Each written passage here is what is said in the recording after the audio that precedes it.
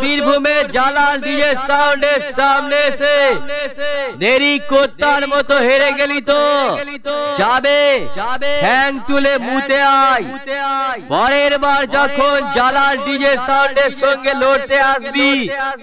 তো সালা তোর এইসব ধার করা মেশিন নিয়ে আসিস না। আসলি মেশিন নিয়ে আসবি। তা না হলে এমন বেশ মারবো। তোর মাইক মেশিন ঠিক থাকবে। স্পিকারের ভিতর দিয়ে। শুধু ভর ভর করে আওয়াজ বার হয়ে যাবে।